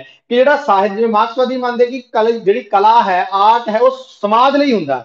ਸਮਾਜ ਦੇ ਲਈ ਕਲਾ ਹੁੰਦੀ ਹੈ। ਨਾ ਕਿ ਕੀ ਆ? ਕਲਾ ਕਾਦੇ ਵਾਸਤੇ ਕਲਾ ਕਲਾ ਲਈ ਜਿਹੜੀ ਧਾਰਨੀ ਜਿਹੜੇ ਪਹਿਲੇ ਸੀਗੇ, ਉਹ ਅਰਿਸਟੋਟਲ ਜਿਹੜੇ ਪੱਛਮੀ ਚਿੰਤਕ, ਉਹ ਮੰਨਦੇ ਉਹਨੇ ਬਾਅਦ ਦੇ ਵਿੱਚ ਇਹ ਕਲਾ ਸਮਾਜ ਦੇ ਲਈ ਹੁੰਦੀ ਹੈ। ਤੋਂ ਸੁਜਾਨ ਸਿੰਘ ਕਹਿੰਦਾ ਕਿ ਕਲਾ ਸਮਾਜ ਦੇ ਲਈ ਆ। ਇਸੇ ਕਰਕੇ ਦੀਆਂ ਕਹਾਣੀਆਂ, ਚਾਹੇ ਤੁਸੀਂ ਬਾਗਾਂ ਦਾ ਰਾਖਾ ਵੇਖ ਲਓ, ਚਾਹੇ ਕੁਲਫੀ ਵੇਖ ਲਓ ਚਾਹੇ ਦੀਆਂ ਹੋਰ ਜਿੰਨੀਆਂ ਵੀ ਕਹਾਣੀਆਂ ਜਿਹੜੀਆਂ ਮੋਸਟਲੀ ਉਹਦੀਆਂ ਮਿਲਦੀਆਂ ਨੇ, ਦੁੱਖ, ਸੁੱਖ, ਦੁੱਖ, ਉਹ ਸਾਰੀਆਂ ਕਲਾ ਸਮਾਜ ਲਈ ਵੀ ਸਾਹਿਤ ਵਿੱਚ ਸਮਾਜ ਦੀ ਗੱਲ ਹੋਵੇ, ਸਮਾਜ ਦੀ ਪ੍ਰਗਤੀ ਦੀ, ਸਮਾਜ ਦੇ ਵਿਕਾਸ ਦੀ, ਸਮਾਜ ਦੀ ਤਬਦੀਲੀ ਦੀ, ਸਮਾਜ ਦੀ ਚੇਂਜ ਦੀ ਜਿਹੜੀ ਆ ਗੱਲਬਾਤ ਉਹਦੇ ਵਿੱਚ ਹੋਵੇ। ਤੋਂ ਬੁਨਿਆਦੀ ਰੂਪ ਦੇ ਵਿੱਚ ਜੇ ਮੈਂ ਇਹ ਗੱਲ ਨੂੰ ਕਹਿਣਾ ਹੋਵੇ ਕਿ ਸਜਾਨ ਸਿੰਘ ਦੀ ਜਿਹੜੀ ਕੁਲਫੀ ਕਹਾਣੀ ਆ, ਉਹ ਵੀ ਪ੍ਰਗਤੀਵਾਦੀ, ਸਮਾਜਵਾਦੀ ਦ੍ਰਿਸ਼ਟੀ ਤੋਂ ਜਿਹੜੀ ਲਿਖੀ ਹੋਈ ਜਿਹੜੀ ਆ ਕਹਾਣੀ ਹੈ ਪ੍ਰਗਤੀਵਾਦੀ, ਸਮਾਜਵਾਦੀ ਉਹਦੇ ਵਿੱਚ ਵਿਜ਼ਨ ਹੈ। ਕਿ ਉਹ ਕੀ ਹੈ ਕਿ ਇੱਕ ਬੱਚਾ ਜਿੱਦਾਂ ਕਹਿੰਦੇ ਨੇ ਕਿ ਜਿਹੜਾ ਵੀ ਦੋ ਟੋਟਿਆਂ ਵਿੱਚ ਜਿਹੜੀ ਆ, ਮਤਲਬ ਕੀ ਆ, ਲੁਕਾਈ ਵੰਡੀ ਹੋਈ ਆ, ਇੱਕ ਜਿਹੜੀ ਆ ਕੀ ਆ, ਲੋਕਾਂ ਦੀ, ਇੱਕ ਜੋਕਾਂ ਦੀ ਆ। ਤੇ ਜਿਹੜੇ ਜੋਕਾਂ ਨੇ, ਜਿਹੜੀਆਂ ਪੂੰਜੀਵਾਦੀ ਜੋਕਾਂ ਨੇ, ਲੋਕਾਂ ਦਾ ਖੂਨ ਪੀ ਰਹੀਆਂ ਨੇ, ਉਹਨਾਂ ਦਾ ਪਰਦਾਫਾਸ਼ ਕਰਨ ਵਾਲਾ ਸਜਾਨ ਸਿੰਘ ਕਹਾਣੀਕਾਰ ਜਿੱਦਾਂ ਕੁਲਫੀ ਵਿੱਚ ਵੀ ਉਹਨੇ ਆਖਿਆ ਕਿ ਮਜ਼ਦੂਰ ਨੂੰ ਉਹਦਾ ਹੱਕ ਨਹੀਂ ਮਿਲਦਾ। ਮਜ਼ਦੂਰ ਨੂੰ ਜੇ ਹੱਕ ਨਹੀਂ ਮਿਲਦਾ ਪਿਆ ਕਿ ਦੁਨੀਆ ਭਰ ਦੇ ਮਜ਼ਦੂਰੋ ਇੱਕ ਹੋ ਜਾਓ ਤੇ ਹੱਕ ਕਿਦਾਂ? ਹੱਕ ਆਪਣਾ ਖੋਵੋ। ਤੇ ਉਹ ਬੱਚਾ ਇੱਕ ਦਿਨ ਵੇਖਦਾ, ਦੋ ਦਿਨ ਲਾਲਸਾ, ਤੀਸਰੇ ਦਿਨ ਉਹ ਕੁਲਫੀ ਖੋ ਲੈਂਦਾ। ਕੁਲਫੀ ਖੋਣ ਦਾ ਭਾਵੇਂ ਜਦੋਂ ਤੁਹਾਨੂੰ ਤੁਹਾਡੇ ਹੱਕ ਨਹੀਂ ਮਿਲੇ, ਤੁਹਾਨੂੰ ਤੁਹਾਡੇ ਹੱਕ ਮੰਗਿਆ ਨਹੀਂ, ਜੇ ਨਹੀਂ ਮਿਲਦੇ ਤਾਂ ਖੋਣੇ ਪੈਣਗੇ। ਸੋ ਇਹ ਵੀ ਕਹਾਣੀ ਜਿਹੜੀ ਆ, ਉਹ ਪ੍ਰਗਤੀਵਾਦੀ, ਸਮਾਜਵਾਦੀ ਦ੍ਰਿਸ਼ਟੀ ਤੋਂ ਜਿਹੜੀ ਆ, ਲਿਖੀ ਗਈ ਕਹਾਣੀ ਹੈ। ਇਸੇ ਤਰ੍ਹਾਂ ਹੀ ਉਹਦੀ ਇੱਕ ਕਹਾਣੀ ਬਾਰੇ ਸਵਾਲ ਆ ਜਾਂਦਾ, ਸਾਂਝ ਕਹਾਣੀ। ਮੈਂ ਤੁਹਾਨੂੰ ਚਾਰ ਪੰਜ, ਵੇਖੋ, ਮੇਰਾ ਨਾ ਕਹਾਣੀਆਂ ਸੁਣਾਉਣ ਦਾ ਇੱਕੋ ਇੱਕ ਮਕਸਦ ਆ ਕਿ ਜਿਹੜੀ ਇਹ ਮੈਂ ਤੁਹਾਨੂੰ ਕਹਾਣੀ ਸੁਣਾ ਰਿਹਾ।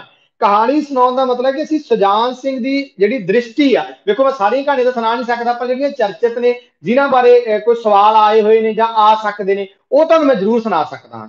ਸੋ ਬੁਨਿਆਦੀ ਰੂਪ ਦੇ ਵਿੱਚ ਜੇ ਮੈਂ ਕਹਿਣਾ ਹੋਵੇ ਕਿ ਉਹਨਾਂ, ਅਸੀਂ ਇਹਨਾਂ ਕਹਾਣੀਆਂ ਦੇ ਜ਼ਰੀਏ ਸੁਜਾਨ ਸਿੰਘ ਦੀ ਜਿਹੜੀ ਦ੍ਰਿਸ਼ਟੀ, ਉਹਦਾ ਜਿਹੜੀ ਕਹਾਣੀ ਸਿਰਜਣਾ ਹੈ, ਉਹਦੇ ਬਾਰੇ ਸਮਝ ਰਹੇ ਆ ਇਹਦਾ ਮਤਲਬ ਇਹ ਨਹੀਂ ਕਿ ਤੁਸੀਂ ਕਹਾਣੀਆਂ ਨਹੀਂ ਪੜੀਆਂ ਪੜੀਆਂ ਹੋਣਗੀਆਂ, ਪਰ ਤੁਹਾਨੂੰ ਮਤਲਬ ਕਿੱਦਾਂ ਪਤਾ ਲੱਗੂਗਾ ਕਿ ਸੁਜਾਨ ਸਿੰਘ ਕਿੱਦਾਂ ਦਾ ਕਹਾਣੀਕਾਰ ਸੀ ਤਾਂ ਮੈਂ ਸੁਣਾ ਰਿਹਾ। ਸਾਂਝ ਕਹਾਣੀ ਵਿੱਚ ਵੀ ਤੁਸੀਂ ਇੱਕ ਵੇਖਿਆ ਹੋਣਾ ਕਿ ਇੱਕ ਪ੍ਰੋਫੈਸਰ ਆ, ਕਹਿੰਦਾ ਵੀ ਮੈਂ ਤਾਂ ਕਾਫੀ ਟਾਈਮ ਤੋਂ ਸਾਈਕਲ ਤੇ ਤੁਰਿਆ ਜਾ, ਮੈਂ ਤਾਂ ਸਾਈਕਲ ਚਲਾ ਰਿਹਾ, ਬਹੁਤ ਕਾਫੀ ਟਾਈਮ ਤੋਂ। ਹਨਾ ਕਿ ਮੇਰੇ ਕੋਲ ਇੱਕ ਮਤਲਬ ਗੱਭਰੂ ਲੰਘਦਾ ਭੱਜ ਕੇ, ਮਤਲਬ ਮੈਂ, ਉਹ ਉਹ ਸਾਈਕਲ ਤੇ। ਉਹ ਵੇਂਦਾ ਕਿ ਦੂਰ ਉਹ ਜਿਹੜਾ ਗੱਭਰੂ ਨਾ, ਉਹ ਇੱਕ ਮਾਤਾ ਨੇ ਉਹਨੂੰ ਹੱਥ ਕੀਤਾ, ਪਰ ਉਹ ਰੁਕਿਆ ਨਹੀਂ। ਠੀਕ ਹੈ, ਉਹ ਜਲਦੀ ਜਲਦੀ ਲੰਘ ਗਿਆ। ਤੇ ਕਹਿੰਦਾ, ਮੈਂ ਆਪਦੇ ਮਨ 'ਚ ਸੋਚਦਾ ਯਾਰ ਵੀ ਕਿੱਡਾ ਇਹ ਨਰਦਈ ਬੰਦਾ ਵੀ ਇੱਕ ਬਜ਼ੁਰਗ ਔਰਤ ਨੇ ਤੇ ਰੋਕਿਆ ਕਿਉਂ ਨਹੀਂ? ਕਹਿੰਦਾ, ਜਦ ਤੱਕ ਮੇਰਾ ਸਾਈਕਲ ਉਸ ਮਾਤਾ ਤੱਕ, ਉਹ ਮਾਤਾ ਕਹਿੰਦੀ ਵੀ, ਭਾਈ, ਮੈਂ ਉਹ ਫਲਾਂ ਤੱਕ ਜਾਣਾ, ਮੈਨੂੰ ਲੈ ਜਾ। ਇਹ ਕਹਿੰਦਾ ਵੀ, ਮਾਂ, ਮੈਂ ਤਾਂ ਕੈਂਚੀਆਂ ਤੱਕ ਹੀ ਜਾਣਾ, ਸ਼ਹਿਰ ਤੇ ਵੀ ਮੈਂ ਉਧਰ ਨਹੀਂ ਜਾਣਾ। ਪ੍ਰੋਫੈਸਰ ਕਹਿੰਦਾ, ਚੱਲ, ਮੈਂ ਤੈਨੂੰ ਬਿਠਾ ਲੈਣਾ ਜਦੋਂ ਬਿਠਾਉਣ ਲੱਗਦਾ ਤਾਂ ਮਾਤਾ ਦੇ ਕੱਪੜੇ ਜਿਹੜੇ ਮੈਲੇ ਕਿਤੇ ਸਟੈਂਡ ਜਾਂ ਲਾ ਕੇ ਉਹਨੂੰ ਇੱਕ ਵਾਰੀ ਕਚਾਨ ਜੀ ਆਉਂਦੀ, ਪਰ ਉਹ ਬਿਠਾ ਲੈਂਦਾ। ਉਹ ਅਜੇ ਤੁਰਿਆ ਹੀ ਜਾਂਦਾ ਹੁੰਦਾ ਹੈ।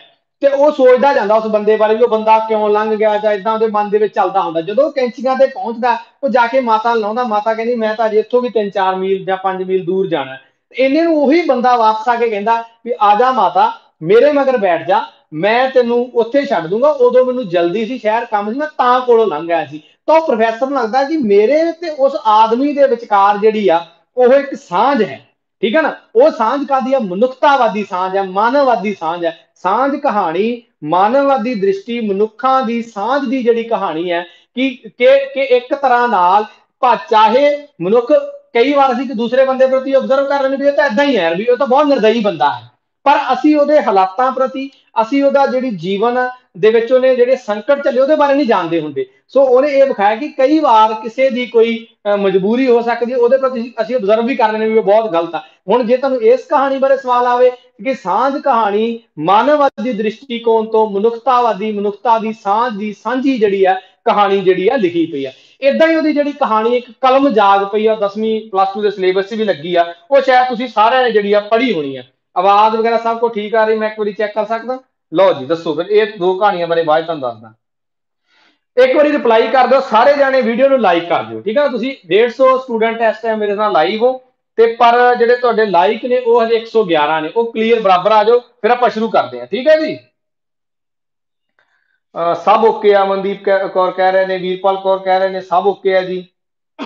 ਠੀਕ ਹੈ ਜੀ ਥੈਂਕ ਯੂ ਹਾਂ ਥੈਂਕ ਯੂ ਸਮਝ ਆ ਰਹੀ ਨਾ? ਮੈਂ ਤੁਹਾਨੂੰ ਥੋੜਾ ਬਾਅਦ ਨਾ ਕਲਾਸ ਜਾਣ ਸੇ ਤੋਂ ਖਤਮ ਕਰਨ ਬਾਅਦ ਮੇਰੇ ਕੋਲ ਕਾਫੀ ਬੱਚੇ ਤੁਸੀਂ ਵਿੱਚ ਪੜ੍ਹਦੇ ਹੋ ਬੈਚ 'ਚ। ਤੁਹਾਡੇ ਤੋਂ ਮੈਂ ਸਵਾਲ ਪੁੱਛਣੇ ਆ ਪੰਜ ਚਾਰ, ਮੈਂ ਵੇਖੂੰਗਾ ਤੁਸੀਂ ਕਿੰਨੇ ਕੁ ਪੜ੍ਹਦੇ ਲਿਖਦੇ ਰਹਿੰਦੇ ਹੋ। ਇੱਕ ਗੱਲ ਆ, ਜਿਨ੍ਹਾਂ ਦਾ ਬੈਚ ਖਤਮ ਹੋ ਚੁੱਕਾ, ਜਿਹੜੇ ਬੱਚਿਆਂ ਦਾ ਹੁਣੇ ਜੁਲਾਈ ਵਾਲਿਆਂ ਦਾ ਉਹ ਲਗਾਤਾਰ ਆਪਦੇ ਸਿਲੇਬਸ ਨਾਲ ਜੁੜੇ ਰਹੋ। ਇਹ ਨਾ ਤੁਸੀਂ ਰੋਟੀਆਂ ਖਾ ਕੇ ਸੌਂ ਜਾਓ, ਬਾਅਦ ਚ ਪੇਪਰ ਆਵੇ ਤੇ ਫਿਰ ਉੱਥੇ ਜਾ ਕੇ ਤੁਸੀਂ ਫਿਰ ਉਹੀ ਕਰ ਜੋ ਤੁਸੀਂ ਪਹਿਲੇ ਪੇਪਰਾਂ 'ਚ ਕਰਦੇ ਰਹਿ ਜੇ। ਕੰਟੀਨਿਊ ਸਟੱਡੀ ਨਾਲ ਜੁੜੇ ਰਹੋ। ਬਾਕੀ ਕੋਸ਼ਿਸ਼ ਮੇਰੀ ਵੀ ਰਹੂਗੀ ਜੇ ਅਸੀਂ ਮਤਲਬ ਕਿਸੇ ਢੰਗ ਨਾਲ ਤੁਹਾਡੇ ਤੱਕ ਪਹੁੰਚਦੇ ਰਹੇ, ਕਿਉਂਕਿ ਕੰਮਕਾਰ ਕਲਾਸਾਂ ਬਹੁਤ ਜ਼ਿਆਦੀਆਂ ਹੁੰਦੀਆਂ, ਉਹਦੇ ਲਈ ਗੁਸਤਾਖੀ ਚਾਹੁੰਦੇ ਆ ਚਲੋ, ਕਰੀਏ ਫਿਰ ਸ਼ੁਰੂ। ਥੈਂਕ ਯੂ ਸ਼ੁਕਰੀਆ ਜੀ ਥੈਂਕ ਯੂ ਥੈਂਕ ਯੂ ਕਲਮ ਜਾਗ ਪਈ। ਮੈਂ ਮੈਂ ਦੁਬਾਰਾ ਤੋਂ ਸਵਾਲ ਪੁੱਛਨੇ, ਮੈਂ ਦੇਖਦਾ ਤੁਸੀਂ ਕੀ ਕਰਦੇ ਹੋ। ਇਹ ਲਾਸਟ ਕਹਾਣੀ ਮੈਂ ਸੁਣਾਉਣੀ। ਕਲਮ ਜਾਗ ਪਈ ਤੇ ਮਨੁੱਖ ਤੇ ਪਸ਼ੂ ਦੋ ਸੁਣਾ ਦੇਣਾ ਚਲੋ। ਐ ਤਾਂ ਰਾਮਲੀਲਾ ਵੀ ਲਿਖੀ ਸੀ ਉਹਨੇ ਇੱਕ ਤੇ ਕਲਮ ਜਾਗ ਪਈ। ਕਲਮ ਜਾਗ ਪਈ ਨਾ ਪ੍ਰਤੀਕਾਤਮਕ ਕਹਾਣੀ ਹੈ। ਕਿ ਲੇਖਕ ਨੂੰ ਸੁਪਨਾ ਆਉਂਦਾ ਸੁਪਨੇ 'ਚ ਕੀ ਆ? ਕਲਮ ਬੋਲ ਰਹੀ ਆ, ਦਵਾਤ ਬੋਲ ਰਹੀ ਆ, ਠੀਕ ਹੈ ਨਾ? ਕਾਗਜ਼ ਬੋਲਦਾ ਪਿਆ ਹੈ। ਤਾਂ ਉਹ ਕੀ ਆ? ਜਦੋਂ ਤੁਸੀਂ ਸਾਰਿਆਂ ਨੇ ਪੜਿਆ ਨਾ, ਕਲਮ ਕਹਿੰਦੀ, ਮੇਰਾ ਬੜਾ ਦਿਲ ਕਰਦਾ ਕਿ ਮੈਂ ਤੇਰੇ ਉੱਪਰ ਕਾਗਜ਼ ਨੂੰ ਕਹਿੰਦੀ ਕੁਝ ਝਰੀਟਾਂ ਕਾਗਜ਼ ਕਹਿੰਦਾ ਵੀ ਹਾਂ, ਮੇਰਾ ਵੀ ਦਿਲ ਕਰਦਾ ਕਿ ਤੂੰ ਮੇਰੀ ਹਿੱਕ ਤੇ ਕੁਝ ਐਸੇ ਅੱਖਰ ਉਕਰੇ। ਇਦਾਂ ਦੀਆਂ ਗੱਲਾਂ। ਪ੍ਰਤੀਕਾਤਮਕ ਕਹਾਣੀ ਹੈ ਸਿੰਬੋਲਿਕਲ ਕਹਾਣੀ ਆ। ਇਹ ਕਹਾਣੀ, ਉਹਨਾਂ ਨੂੰ ਕਿ, ਉਹ ਲੇਖਕ ਦੀ ਜਾਗ ਖੋਲਦੀ, ਉੱਠਦਾ, ਉਹ ਆਪਣੀ ਕਲਮ ਚੱਕਦਾ, ਦਵਾਤ ਸ਼ਾਈ ਲਾਉਂਦਾ ਹੈ। ਤੇ ਉਹ ਲਿਖਣਾ ਜਿਹੜਾ ਸ਼ੁਰੂ ਕਰਨਾ ਕਹਾਣੀ ਖਤਮ ਹੋ ਜਾਂਦੀ ਹੈ ਕਹਾਣੀ ਕਾਦੀ ਆ? ਕਹਾਣੀ ਪੰਜਾਬ ਸੰਕਟ ਦੀ, ਪੰਜਾਬ ਦੇ ਉਸ ਦੌਰ ਦੀ ਕਹਾਣੀ ਆ ਕਿ ਇੱਕ ਜਿਹੜਾ ਲੇਖਕ ਆ, ਲੇਖਕ ਦਾ ਫਰਜ਼ ਬਣਦਾ ਕਿ ਉਹ ਆਲੇ ਦੁਆਲੇ ਦੇ ਮਾਹੌਲ ਪ੍ਰਤੀ ਆਲੇ ਦੁਆਲੇ ਜੋ ਚੱਲਦਾ ਪਿਆ, ਉਹਦੇ ਪ੍ਰਤੀ ਉਹ ਸਿਰਜੇ, ਉਹਦੇ ਪ੍ਰਤੀ ਉਹ ਲਿਖੇ, ਇਹ ਨਾ ਕਿ ਉਹ ਕਿਸੇ ਦੇ ਡਰ ਕਰਕੇ ਚੁੱਪ ਕਰ ਜਾਵੇ। ਤੇ ਪਤਾ ਸਕਦਾ ਨਾ ਕਿ ਮੈਂ ਇੱਕ ਸਤਰ ਲਿਖਦਾ, ਡਰ ਜਾਂਦਾ, ਰਾਜੇ ਦੇ ਸਿਪਾਹੀਆਂ ਤੋਂ ਕੱਟ ਦਿੰਦਾ ਮਤਲਬ ਕੀ ਆ? ਕਿ ਉਦੋਂ ਜਦੋਂ ਪਾਸ਼ ਹੋਰੀ ਜਿਹੜੇ ਜਿਨ੍ਹਾਂ ਨੇ ਕਵਤਾਵਾਂ ਲਿਖੀਆਂ, ਕਵੀ ਮਾਰੇ ਗਏ, ਕਵੀਆਂ ਨੂੰ ਜਿਹੜਾ ਹੈ, ਮਤਲਬ ਗੋਲੀਆਂ ਨਾਲ ਜਿਹੜਾ ਉਡਾਇਆ ਗਿਆ ਕਿ ਤੁਸੀਂ ਇਦਾਂ ਦਾ ਕਿਉਂ ਲਿਖਦੇ ਹੋ? ਤਾਂ ਸੁਜਾਨ ਸਿੰਘ ਇਹੀ ਕਹਿੰਦਾ ਕਿ ਮੇਰੀ ਕਲਮ ਤਾਂ ਜਿਹੜੀ ਜਾਗਦੀ ਆ, ਮੈਂ ਐਸੇ ਮਾਹੌਲ ਤੋਂ, ਮੈਂ ਐਸੇ ਬਾਹਰੀ ਸਮਾਜਿਕ ਡਰ ਤੋਂ ਨਹੀਂ ਡਰਦਾ। ਮੈਂ ਇੱਕ ਰਾਈਟਰ ਆ ਤਾਂ ਮੇਰਾ ਇੱਕ ਫਰਜ਼ ਲਿਖਣਾ ਹੈ, ਮੇਰੀ ਕਲਮ ਤਾਂ ਜਾਗਦੀ ਹੈ, ਮੇਰੀ ਕਲਮ ਨਹੀਂ ਸੁੱਤੀ, ਮੈਂ ਤਾਂ ਇਹਨਾਂ ਹਾਲਾਤਾਂ ਪ੍ਰਤੀ ਜੋ ਮਾੜਾ ਚੱਲਦਾ ਪਿਆ ਪੰਜਾਬ 'ਚ, ਇਹਦੇ ਪ੍ਰਤੀ ਜਿਹੜਾ ਹੈ ਸਿਰਜਾਂਗਾ ਇਹ ਪ੍ਰਤੀਕਾਤਮਕ ਕਹਾਣੀ ਹੈ, ਪ੍ਰਗਤੀਵਾਦੀ ਜਿਹੜੀ ਕਹਾਣੀ ਹੈ, ਠੀਕ ਹੈ ਨਾ? ਕਿ ਸੰਕਟ ਸਮੇਂ, ਕਿਸੇ ਵੀ ਸੰਕਟ ਸਮੇਂ ਲੇਖਕ ਦਾ ਇਹ ਫਰਜ਼ ਨਹੀਂ ਕਿ ਉਹ ਡਰ ਕੇ ਘਰੇ ਬਹਿ ਜਾਵੇ। ਠੀਕ ਹੈ ਨਾ? ਲੇਖਕ ਦਾ ਫਰਜ਼ ਬਣਦਾ ਕਿ ਉਹ ਉਹਨਾਂ ਹਾਲਾਤਾਂ ਪ੍ਰਤੀ, ਉਹ ਉਹਨਾਂ ਆਲੇ ਦੁਆਲੇ ਚਗਿਰਦੇ ਪ੍ਰਤੀ ਆ, ਲਿਖੇ ਲੋਕਾਂ ਨੂੰ ਅਵੇਅਰ ਕਰੇ। ਤਾਂ ਉਹ ਕਹਿੰਦਾ, ਮੇਰੀ ਕਲਮ ਕੀ ਆ? ਲੋਕਾਂ ਨੂੰ ਅਵੇਅਰ ਕਰਨ ਦੇ ਲਈ ਜਾਗਦੀ ਆ ਤੇ ਹਰ ਲੇਖਕ ਦੀ ਕਲਮ ਇਸੇ ਤਰ੍ਹਾਂ ਹੀ ਲੋਕਾਂ ਨੂੰ ਅਵੇਅਰ ਕਰਨ ਲਈ ਜਾਗਦੀ ਹੋਣੀ ਚਾਹੀਦੀ ਆ। ਨਾ ਕਿ ਸਾਡੇ ਲੇਖਕਾਂ ਨੂੰ ਲੇਖ ਸਾਥ ਮਤਲਬ ਘਰੇ ਵੜ ਕੇ ਬਹਿ ਜਾਣਾ, ਜਿੱਦਾਂ ਵੀ, ਚਲੋ ਛੱਡੋ, ਆਪਾਂ ਕੀ ਲੈਣਾ? ਕੋਈ ਮਰੇ, ਕੋਈ ਜੀਵੇ, ਸੁਥਰਾ, ਘੁਲ ਪਤਾਸੇ ਪੀਵੇ ਮਤਲਬ ਉਹ ਗੱਲ ਨਹੀਂ ਹੋਣੀ ਚਾਹੀਦੀ ਜੀ ਸੋ ਇਸ ਤਰ੍ਹਾਂ ਦੀ ਉਹਨਾਂ ਦੀ ਜਿਹੜੀ ਕਹਾਣੀ ਆ, ਕਲਮ ਜਾਗ ਪਈ। ਇਦਾਂ ਹੀ ਉਹਨਾਂ ਦੀ ਕਹਾਣੀ ਮਨੁੱਖ ਤੇ ਪਸ਼ੂ ਆ। ਮਤਲਬ ਕਿ ਇਹ ਕਹਾਣੀ ਦੇਸ਼ ਵੰਡ ਨਾਲ ਸੰਬੰਧਿਤ ਆ। ਇਹ ਮੈਂ ਪੂਰਾ ਵਰਤਾਂਤ ਹੁੰਦਾ ਮੈਂ ਓਵਰਆਲ ਤੁਹਾਨੂੰ ਦੱਸ ਦਿੰਦਾ ਕਿ ਉਹ ਜਿਹੜੇ ਜਿਹੜੇ ਸਿੰਘ ਜੀ ਆ ਕਹਾਣੀ ਵਿੱਚ, ਉਹ ਸੋਚਦੇ ਵੀ ਫਲਾਨਾ ਪਿੰਡ ਦਾ ਜਿਹੜਾ ਮੁਸਲਮਾਨਾਂ ਦਾ ਤੇ ਆਪਾਂ ਇਹਨਾਂ ਤੇ ਅਟੈਕ ਕਰਨਾ ਤੇ ਉਹਨਾਂ ਦੀਆਂ ਔਰਤਾਂ ਨੂੰ ਜਬਰੀ ਚੱਕਣਾ ਤੇ ਸਾਰਾ ਕੁਝ ਆ ਉਹਨਾਂ ਵਿੱਚ ਹੀ ਕੋਈ ਸਿੰਘ ਜੀ ਦੇ ਨਾਲ ਜਿਹੜਾ ਬੰਦਾ ਹੁੰਦਾ ਤੇ ਉਹ ਮਤਲਬ ਉਹ ਪਿੰਡ ਜਾ ਕੇ ਖਬਰ ਕਰ ਦਿੰਦਾ ਵੀ ਭਾਈ ਤੁਹਾਡੇ ਪਿੰਡ ਤੇ ਅਟੈਕ ਹੋਣ ਵਾਲਾ ਤੁਸੀਂ ਬਚੋ। ਤੇ ਉਹ ਕੀ ਕਰਦੇ ਆ ਭਾਈ, ਉਹ ਸਾਰਾ ਪਿੰਡ ਜਿਹੜਾ ਮਤਲਬ ਖਾਲੀ ਹੋ ਜਾਂਦਾ ਜਦੋਂ ਨਿੰਗ ਜੀ ਜਿਹੜਾ ਜਿਹੜੇ ਜਾ ਕੇ ਸਿੰਘ ਜਿਹੜੇ ਸੋ ਕਾਲ ਸਿੰਘ ਕਹਾਉਂਦੇ ਆ, ਉਹ ਜਾ ਕੇ ਉਹ ਪਿੰਡ ਤੇ ਜਦੋਂ ਅਟੈਕ ਕਰਦੇ ਤਾਂ ਉਹ ਖਾਲੀ ਹੁੰਦਾ।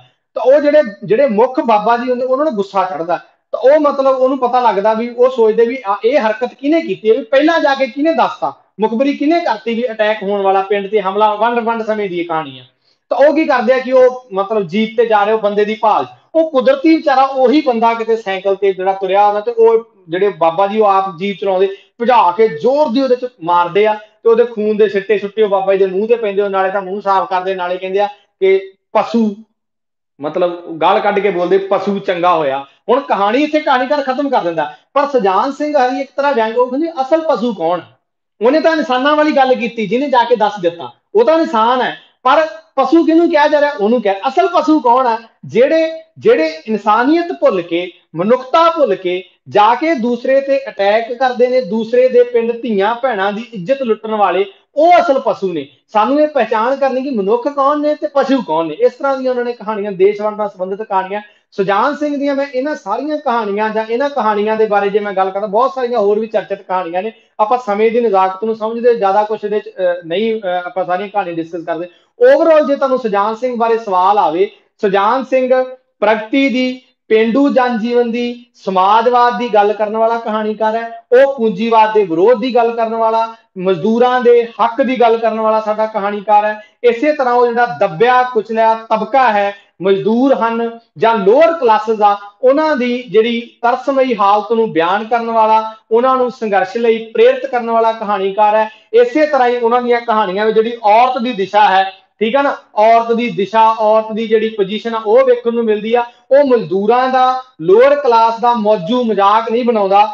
ਹਾਲਾਂਕਿ ਉਹਨਾਂ ਨਾਲ ਉਹ ਹਮਦਰਦੀ ਪ੍ਰਗਟ ਕਰਨ ਵਾਲਾ ਸਾਡਾ ਪੰਜਾਬੀ ਦਾ ਜਿਹੜਾ ਹੈ ਪ੍ਰਮੁੱਖ ਤੌਰ ਤੇ ਕਹਾਣੀਕਾਰ ਹੈ। ਪਿੰਡੂ ਜਨ ਜੀਵਨ ਉਹਨਾਂ ਦਾ ਜਿਹੜਾ ਹੈ, ਉਧਾਰ ਰਹਿੰਦਾ ਹੈ। ਹੋਰ ਗੱਲਾਂ ਵੀ ਕਾਫੀ ਸੁਜਾਨਤ ਸਿੰਘ ਬਾਰੇ ਹੋ ਸਕਦੀਆਂ ਨੇ। ਇਸ ਲੈਕਚਰ ਦੀ ਸੀਮਾ ਨੂੰ ਮੁੱਖ ਰੱਖ ਕੇ ਇੰਨੀਆਂ ਤੁਹਾਡੇ ਪੇਪਰ ਦੀ ਜਿਹੜੀ ਲੋੜ ਨੂੰ ਮੁੱਖ ਰੱਖ ਕੇ ਇੰਨੀਆਂ ਗੱਲਾਂ ਹੀ ਬਹੁਤ ਤੁਹਾਨੂੰ ਦੋ ਤਿੰਨ ਤਰ੍ਹਾਂ ਸਵਾਲ ਪੁੱਛ ਲੈਣਗੇ।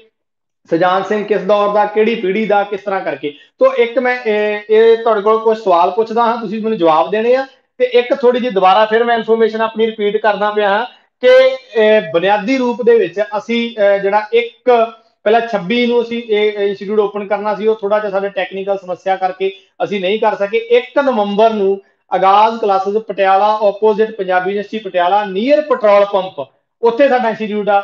ਉੱਥੇ ਆਫਲਾਈਨ ਸਾਰੇ ਬੈਚ ਮਾਸਟਰ ਕੇਡਰ ਦੇ ਯੂਜੀਸੀ ਦੇ ਲਗਭਗ ਸਾਰੇ ਸਿਲੇਬ ਸਬਜੈਕਟ ਜਿੱਦਾਂ ਕਿ ਇੰਗਲਿਸ਼ ਹੋ ਗਿਆ political science economics commerce Punjabi ਦਾ ਤੁਸੀਂ ਜਾਣਦੇ ਹੀ ਹੋ, ਸਾਰੇ ਅਸੀਂ ਸਬਜੈਕਟ ਜਿਹੜੇ ਆ ਉਹ ਯੂਜੀਸੀ ਨੈਟ ਦੇ ਵੀ ਸ਼ੁਰੂ ਕਰ ਰਹੇ ਆ। ਮਾਸਟਰ ਕੇਡਰ ਦਾ ਜਿਹੜਾ ਪੰਜਾਬੀ ਦਾ ਬੈਚ ਹੈ, ਉਹ 2 ਦਿਨ ਹੋਏ ਕਹਾਣੀ ਚੱਲਦੀ ਨੂੰ 2 ਕਿ 3 ਕਹਾਣੀਕਾਰ ਹੋਏ ਆ, ਜਿਨ੍ਹਾਂ ਬੱਚਿਆਂ ਨੇ ਰਜਿਸਟ੍ਰੇਸ਼ਨ ਕਰਾਉਣੀ, ਇਹ ਬੈਚ ਜਨਵਰੀ ਤੱਕ ਚੱਲੂਗਾ। ਠੀਕ ਆ ਨਾ? ਮਤਲਬ ਕੀ ਆ, ਨਵੰਬਰ ਦਸੰਬਰ ਤੇ ਜਨਵਰੀ ਤੱਕ ਇਹ ਬੈਚ ਚੱਲੂਗਾ 15 ਜਨਵਰੀ ਤੱਕ ਜਾਂ ਇਹ ਮਤਲਬ ਜਨਵਰੀ ਦੇ ਐਂਡ ਤੱਕ ਜਾ ਸਕਦਾ ਤੋਂ ਇਹ ਲਾਸਟ ਬੈਚ ਹੋਊਗਾ ਆਨਲਾਈਨ ਦਾ। ਆਫਲਾਈਨ ਦੇ ਵਿੱਚ ਉਸ ਤੋਂ ਬਾਅਦ ਸਾਡੇ ਕੋਲ ਕੰਮ ਅਸੀਂ ਬਿਜ਼ੀ ਹੋਵਾਂਗੇ, ਸ਼ਾਇਦ ਅਸੀਂ ਨਾ ਅਗਲਾ ਸ਼ੁਰੂ ਕਰ ਸਕੀਏ। ਜਿਨ੍ਹਾਂ ਬੱਚਿਆਂ ਨੇ ਮਨ ਬਣਾਇਆ ਹੈ ਜਾਂ ਜਿਨ੍ਹਾਂ ਬੱਚਿਆਂ ਨੇ ਐਡਮਿਸ਼ਨ ਲੈਣੀ ਹੈ ਇਸ ਬੈਚ ਦੇ ਵਿੱਚ, ਤਾਂ ਇਹ ਫਰੈਸ਼ ਬੈਚ ਆ। ਕਹਾਣੀ ਤੋਂ ਸ਼ੁਰੂ ਹੈ ਸਾਰਾ ਸਿਲੇਬਸ ਹੋਊਗਾ, ਜਨਵਰੀ ਤੱਕ ਚੱਲੂਗਾ। ਜਿਨੇ ਵੀ ਰਜਿਸਟ੍ਰੇਸ਼ਨ ਕਰਾਉਣੀ, ਸਾਡਾ ਰਜਿਸਟ੍ਰੇਸ਼ਨ ਨੰਬਰ ਨੀਚੇ ਆ ਰਿਹਾ, ਉਹਦੇ ਉੱਪਰ ਤੁਸੀਂ ਜਿਹੜਾ ਕਾਲ ਕਰ ਲੈਣੀ ਆ। ਤੇ ਉਹਦੇ ਉੱਪਰ ਤੁਸੀਂ ਆਪਣੀ ਰਜਿਸਟ੍ਰੇਸ਼ਨ ਕਰਾ ਸਕਦੇ ਹੋ। ਪਹਿਲਾ ਬੈਚ ਸਾਡਾ ਇੱਕ 14 ਜੁਲਾਈ ਦਾ ਸੀ, ਉਹ ਖਤਮ ਹੋ ਗਿਆ। 1 ਸਤੰਬਰ ਵਾਲਾ ਜਿਹੜਾ ਚੱਲਦਾ ਸੀਗਾ, ਉਹਦੇ ਵਿੱਚ ਹੀ ਮੈਂ ਦੁਬਾਰਾ ਕਹਾਣੀ ਸ਼ੁਰੂ ਕੀਤੀ ਹੈ, ਜੇ ਦੋ ਕਹਾਣੀ ਘਰ ਆ, ਤੇ ਬਾਕੀ ਜਿਨ੍ਹਾਂ ਨੇ ਜਦੋਂ ਸ਼ੁਰੂ ਕਰਨੀ ਹੈ, ਸਾਰੇ ਜਾਣੇ ਤੁਸੀਂ ਕਾਲ ਕਰਕੇ ਆਪਣੀ ਰਜਿਸਟ੍ਰੇਸ਼ਨ ਕਰਾ ਸਕਦੇ ਹੋ। ਲਓ ਜੀ, ਮੈਂ ਤੁਹਾਨੂੰ ਥੋੜਾ ਜਿਹਾ 10 8-10 ਮਿੰਟ ਮੈਂ ਸਾਰਿਆਂ ਲਈ ਤੋਂ ਸਵਾਲ ਪੁੱਛਦਾ। ਉਹ ਵਾਈਟ ਫੜਾਈ ਯਾਰ। ਹਾਂ ਵਾਈਟ ਬੋਰਡ ਹਾਂ ਹਾਂ, ਹੀ ਬੜਾ ਮੈਂ ਸਵਾਲ ਪੁੱਛਦਾ ਤੁਹਾਨੂੰ, ਫਿਰ ਤੁਸੀਂ ਭਾਈ ਮੈਨੂੰ ਜਵਾਬ ਦੇਣਾ ਇਹ ਮੈਂ ਨਾ ਜਿਹੜਾ ਸਾਡੀ ਟੈਸਟ ਸੀਰੀਜ਼ ਚੱਲਦੀ ਉਹ ਚ ਨਾ 6 ਕੁ ਟੈਸਟ ਹੀ ਤੱਕ ਪਾਏ ਆ। ਉਹ ਮੈਂ ਥੋੜਾ ਬਿਮਾਰ ਹੋ ਗਿਆ ਟੈਸਟ ਦੀ ਟਾਈਪਿੰਗ ਟੂਪਿੰਗ ਸਾਰਾ ਕੰਮ ਰੁਕ ਗਿਆ ਤੇ ਉਹ ਮੈਂ ਅੱਗੇ ਪਾ ਨਹੀਂ ਸਕਿਆ। ਉਹ ਤੇ 26 ਟੈਸਟ ਅਜੇ ਦੇਣੇ 20 ਟੈਸਟ ਹੋਰ ਪਏ ਹੋਏ ਨੇ। ਉਹ ਟੈਸਟ ਸੀਰੀਜ਼ ਅਸੀਂ ਇਹ ਪਾ ਨਹੀਂ ਪਾ ਰਹੇ ਟੈਸਟ ਕੋਈ ਵੀ। ਤਾਂ ਇਸ ਕਰਕੇ ਇਹਦੇ ਵਿੱਚ ਮੈਂ ਜਿਹੜੇ ਪਹਿਲੇ ਦੋ ਤਿੰਨ, ਪਹਿਲਾ ਟੈਸਟ ਮੈਂ ਪਾਇਆ ਸੀ, ਸਾਰਿਆਂ ਲਈ ਕਾਮਨ ਸੀਗਾ। ਮੈਂ ਉਸ ਟੈਸਟ ਦੇ ਕੁਝ ਕੁ ਤੁਹਾਨੂੰ ਜਵਾਬ ਤੇ ਕੁਝ ਕੁ ਹੋਰ ਸਵਾਲ ਪੁੱਛ ਲੈਣਾ ਮੈਨੂੰ ਵੀ ਪਤਾ ਲੱਗ ਜੂ ਕਿ ਭਾਈ ਤੁਸੀਂ ਕਿੱਦਾਂ ਦੇ ਜਿਹੜੇ ਪੜ੍ਹਦੇ ਲਿਖਦੇ ਰਹਿੰਦੇ ਹੋ, ਕਿੱਦਾਂ ਦੇ ਟੌਪਿਕ ਦੇ ਵਿੱਚ ਮੈਂ ਵਿੱਚੋਂ ਵਿੱਚੋਂ ਪੁੱਛ ਲੈਣਾ ਟੈਸਟ ਤਾਂ ਮੇਰੇ ਕੋਲ ਸਾਰੇ ਹੀ ਬਣੇ ਪਏ ਨੇ, ਪਹਿਲੇ ਜਿਹੜੇ ਮੁੱਢਲੇ ਨੇ, ਉਹਨਾਂ ਦੇ ਤੁਹਾਨੂੰ ਸਵਾਲ ਪੁੱਛਦਾ, ਚਲੋ ਆਪਾਂ ਵੇਖਦੇ ਆਂ ਵੀ ਭਾਈ ਤੁਸੀਂ ਕੀ ਕੀ ਕੁਝ ਕੀਤਾ ਤੇ ਕੀ ਕੀ ਕੁਝ ਨਹੀਂ। ਲੋ ਮੈਂ ਥੋੜਾ ਜਿਹਾ ਕਹਾਣੀ ਕਰਾਈ, ਕਹਾਣੀ ਬਾਰੇ ਪੁੱਛ ਲਵਾਂ। ਹੂੰ? ਲੋ ਮੈਂ ਨਾ ਚਾਰ ਨਾਨਕ ਸਿੰਘ ਦੇ ਜਿਹੜੇ ਕਹਾਣੀ ਸੰਗ੍ਰਹਿ ਆ ਉਹਨਾਂ ਦੇ ਨਾਮ ਬੋਲੂੰਗਾ। ਤੁਸੀਂ ਦੱਸਣਾ ਕਿ ਇਹਨਾਂ ਵਿੱਚੋਂ ਵੰਡ ਤੋਂ ਬਾਅਦ ਕਿਹੜਾ ਕਹਾਣੀ ਸੰਗ੍ਰਹਿ ਪ੍ਰਕਾਸ਼ਿਤ ਹੋਇਆ ਸੀ? ਬਹੁਤ ਸੌਖਾ ਜਿਹਾ ਸਵਾਲ ਹੈ। ਦੇਸ਼ ਵੰਡ ਤੋਂ ਬਾਅਦ ਕਿਹੜਾ ਕਹਾਣੀ ਸੰਗ੍ਰਹਿ ਪ੍ਰਕਾਸ਼ਿਤ ਹੋਇਆ? ਹੰਝੂਆਂ ਦੇ ਹਾਰ, ਸਦਰਾਂ ਦੇ ਹਾਰ, ਮਿੱਧੇ ਹੋਏ ਫੁੱਲ ਤੇ ਸੁਪਨਿਆਂ ਦੀ ਕਬਰ। ਦੱਸੋ ਜੀ ਮੈਨੂੰ ਕਿ ਕਿਹੜਾ ਇਹਨਾਂ ਵਿੱਚੋਂ ਜਿਹੜਾ ਦੇਸ਼ ਵੰਡ ਤੋਂ ਬਾਅਦ ਪ੍ਰਕਾਸ਼ਿਤ ਹੋਇਆ ਕਹਾਣੀ ਸੰਗ੍ਰਹਿ ਲਓ ਜੀ, ਇਹ ਜਸਵੀਰ ਕੌਰ ਕਹਿ ਰਹੇ ਨੇ, ਡੀ ਹੈ, ਗੁਰਜੀਤ ਕੌਰ ਕਹਿ ਰਹੇ ਨੇ 4 ਹੈ। ਵੀਰਦੀਪ ਕਹਿ ਰਹੇ ਨੇ 4 ਸੁਪਨਿਆਂ ਦੀ ਕਵਰ ਸੁਪਨਿਆਂ ਦੀ ਕਵਰ ਸੁਪਨਿਆਂ ਦੀ ਕਵਰ ਚੰਗੀ ਤਰ੍ਹਾਂ ਰੱਟੇ ਮਾਰ ਕੇ ਬੈਠੇ ਹੋ। ਪਿਓ ਦੇ ਪੁੱਤੋ ਬਿਲਕੁਲ ਸਹੀ ਹੈ ਜੀ। ਸਾਰਿਆਂ ਦੀ ਸੁਪਨਿਆਂ ਦੀ ਕਬਰ 1950 ਈਸਵੀ ਵਿੱਚ, ਹੰਝੂਆਂ ਦੇ ਹਾਰ 1934 ਈਸਵੀ ਵਿੱਚ, ਸਦਰਾਂ ਦੇ ਹਾਰ 1936 ਈਸਵੀ ਵਿੱਚ, ਮਿੱਧੇ ਹੋਏ ਫੁੱਲ 1938 ਈਸਵੀ ਪ੍ਰਕਾਸ਼ਿਤ ਹੋਏ। ਇਹਦਾ ਸਹੀ ਜਵਾਬ ਸੁਪਨਿਆਂ ਦੀ ਕਵਰ ਹੈ 1950 ਈਸਵੀ ਦੇ ਵਿੱਚ। ਲੋ ਮੈਂ ਤੁਹਾਨੂੰ ਇੱਕ ਹੋਰ ਸਵਾਲ ਪੁੱਛਦਾ ਹਾਂ। ਮੈਂ ਇਹਦਾ ਲੈਕਚਰ ਵੀ ਦਿੱਤਾ ਹੋਇਆ ਸ਼ਾਇਦ ਰਗਵੀਰ ਢੰਡ ਹੋਰਾਂ ਦਾ YouTube ਦੇ ਉੱਪਰ ਪਾਇਆ ਹੋਣਾ ਮੇਰਾ ਸ਼ਾਇਦ। ਨਹੀਂ, ਨਵਤੇਜ ਦਾ, ਨਵਤੇਜ ਸਿੰਘ ਦਾ ਦਿੱਤਾ ਹੋਣਾ ਲੈਕਚਰ ਮੈਂ। ਨਵਤੇਜ ਸਿੰਘ ਦੀ ਕਹਾਣੀ ਹੈ ਨਵੀਂ ਰੁੱਤ। ਤੁਸੀਂ ਮੈਨੂੰ ਨਵੀਂ ਰੁੱਤ ਦਾ ਮੁੱਖ ਥੀਮ ਹੈ, ਪੇਪਰ 'ਚ ਸਵਾਲ ਪਾਇਆ ਟੈਸਟ ਲਿਆ ਹੋਇਆ ਬੱਚਿਆਂ ਤੋਂ 4 ਨੰਬਰ ਟੈਸਟ ਦੇ ਵਿੱਚ ਪਾਇਆ ਸੀ ਸਵਾਲ ਇਹ, ਜਿਨ੍ਹਾਂ ਨੇ ਦਿੱਤਾ ਸੀ, ਮੈਂ ਤੁਹਾਨੂੰ ਦੱਸ ਦਿੰਦਾ। ਨਵੀਂ ਰੁੱਤ ਕਹਾਣੀ ਦਾ ਮੁੱਖ ਥੀਮ ਹੈ। ਕੀ ਥੀਮ ਹੈ ਨਵੀਂ ਰੁੱਤ ਦਾ? ਚਾਰ ਆਪਸ਼ਨ ਮੈਂ ਬੋਲਣ ਲੱਗਾ ਹਾਂ। ਪਹਿਲੀ ਆਪਸ਼ਨ ਹੈ ਪੰਜਾਬੀ ਸੂਬੇ ਜਾਂ ਪੰਜਾਬੀ ਭਾਸ਼ਾ ਦੀ ਸਾਂਝੀਵਾਲਤਾ। ਦੂਸਰੀ ਹੈ ਕਿ ਰੋਮਾਂਟਿਕ, ਯਥਾਰਥਕ ਚਿਤਰਣ। ਤੀਸਰਾ ਹੈ ਜ਼ਗੀਰਦਾਰੀ ਪ੍ਰਬੰਧ ਦਾ ਵਿਰੋਧ। ਚੌਥਾ ਹੈ ਦੇਸ਼ ਵੰਡ ਨਾਲ ਸੰਬੰਧਿਤ। ਚਾਰੇ ਤੋਂ ਮੈਨੂੰ ਆਪਸ਼ਨ ਦੱਸੋ ਕਿਹੜਾ ਸਹੀ ਹੈ। ਜਲਦੀ ਜਲਦੀ ਦੱਸ ਦਿਓ ਜੀ। ਨਵੀਂ ਰੁੱਤ ਕਹਾਣੀ ਦਾ ਮੁੱਖ ਥੀਮ ਕੀ ਹੈ? ਕਿ ਪੰਜਾਬੀ ਭਾਸ਼ਾ ਦੀ ਜਿਹੜੀ ਸਾਂਝੀਵਾਲਤਾ, ਇਹ ਸੀ ਕਹਿ ਰਹੇ ਨੇ, ਖੁਸ਼ਵਿੰਦਰ ਜੀ ਸੀ ਕਹਿ ਰਹੇ ਨੇ। ਗਗਨ ਬੇਦੀ ਸੀ ਕਹਿ ਰਹੇ ਨੇ, ਗਗਨ ਬੇਦੀ ਸੀ, ਪ੍ਰਵਿੰਦਰ ਸੀ ਬਲਵਿੰਦਰ ਕੌਰ ਵੀ ਸੀ ਕਹਿ ਰਹੇ ਨੇ। ਇਹ ਸਾਰੇ ਬੱਚੇ ਮਿਲਣਾ ਤਾਂ ਮੇਰੇ ਕੋਲ ਪੜੇ ਹੋਏ ਤੇ ਮੈਂ ਇਹਨਾਂ ਨੂੰ ਨਵੀਂ ਰੁੱਤ ਕਹਾਣੀ ਤੇ ਉੱਥੇ ਵੀ ਲੈਕਚਰ ਸੁਣਿਆ ਹੋਣਾ ਸਾਰਿਆਂ ਨੇ। ਹਾਂ, ਬਿਲਕੁਲ ਇਹ ਜਿਹੜਾ ਇਹਦਾ ਸਹੀ ਜਵਾਬ ਹੈ, ਉਹ ਜ਼ਗੀਰਦਾਰੀ ਪ੍ਰਬੰਧ ਦੇ ਵਿਰੋਧ ਵਿੱਚ ਜਾਂ ਜ਼ਗੀਰਦਾਰੀ ਪ੍ਰਬੰਧ ਦੇ ਵਿਰੋਧ ਨਾਲ ਸੰਬੰਧਿਤ ਇਹ ਚਾਰ ਨਹੀਂ ਹੈ, ਰਮਨਦੀਪ ਰਿਪੂ ਜੀ ਦਾ ਆਨਸਰ ਚਾਰ ਦੇਸ਼ ਵੰਡ ਨਾਲ ਸੰਬੰਧਿਤ ਨਹੀਂ ਹੈ। ਸੀ ਥਰਡ ਜਿਹੜਾ ਇਹਦਾ ਆਨਸਰ ਹੈ, ਉਹ ਬਿਲਕੁਲ ਇਹਦਾ ਸਹੀ ਹੈ। ਲੋ ਤੁਸੀਂ ਮੈਨੂੰ ਇੱਕ ਹੋਰ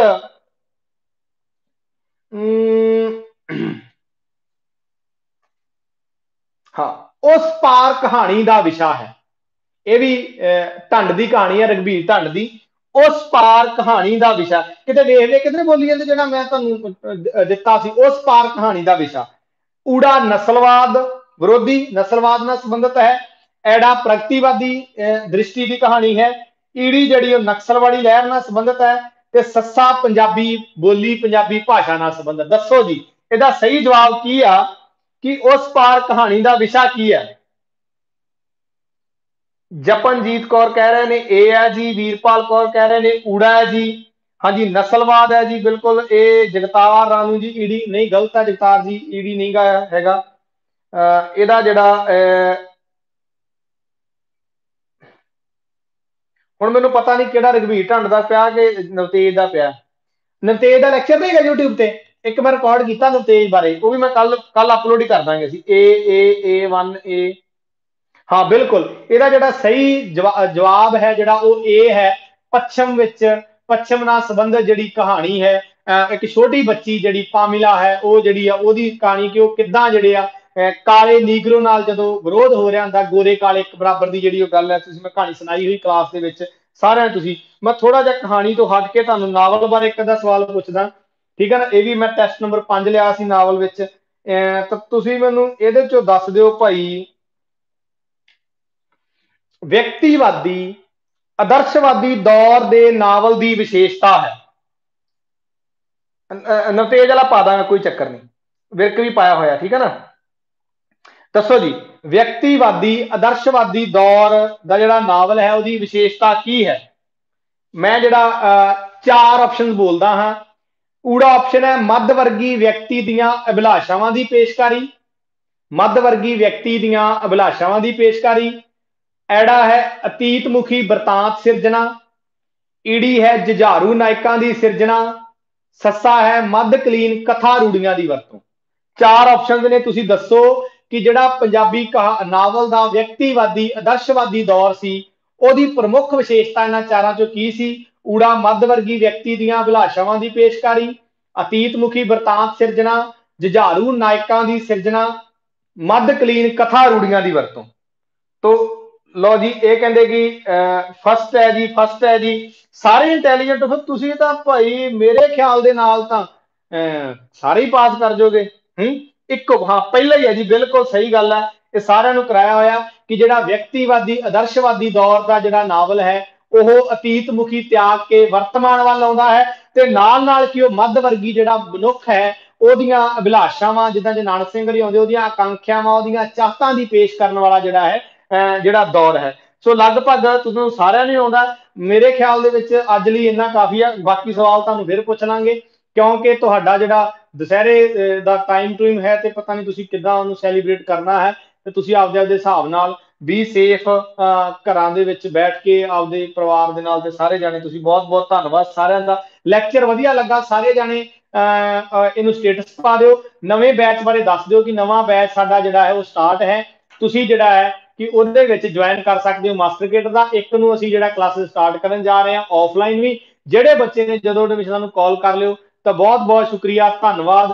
ਸਾਰਿਆਂ ਦਾ ਜਿਉਂਦੇ ਵਾਸਤੇ ਰਹੋ ਲੈਕਚਰ ਸ਼ੇਅਰ ਕਰ ਦਿਓ ਸਟੇਟਸ ਸਾਰੇ ਜਾਣੇ ਪਾ ਦਿਓ ਤੇ ਲੋਕਾਂ ਨੂੰ ਦੱਸ ਦਿਓ, ਤਰੀਕ ਚਾਹੇ ਤੁਸੀਂ ਅੱਜ ਦੀ ਪਾ ਦਿਓ ਕੱਲ ਦੀ ਪਾ ਦਿਓ ਚਾਹੇ, ਠੀਕ ਹੈ ਨਾ? 26 ਤਰੀਕ ਤੋਂ ਜਿਹੜਾ ਨਵੇਂ ਬੈਚ ਦਾ ਅਨਾਉਂਸ ਅਸੀਂ ਅਸੀਂ ਬਣਾ ਕੇ ਦੇ ਦਾਂਗੇ। ਸਾਰੇ ਤੁਸੀਂ ਬੱਚੇ ਉੱਚ ਐਡਮਿਸ਼ਨ ਜਿਹੜੀ ਹੈ ਲੈ ਸਕਦੇ ਹੋ, ਸਾਰਿਆਂ ਨੂੰ ਦੱਸ ਦਿਓ। ਸਭ ਤੱਕ ਦੱਸ ਦਿਓ ਲਾਸਟ ਆਨਲਾਈਨ ਬੈਚ ਮੈਂ ਪੜਾਉਂਗਾ ਹਾਲ ਦੀ ਘੜੀ, ਬਾਕੀ ਅੱਗੇ ਜਾ ਕੇ ਬਾਅਦ ਚ ਵੇਖਾਂਗੇ। ਧੰਨਵਾਦ।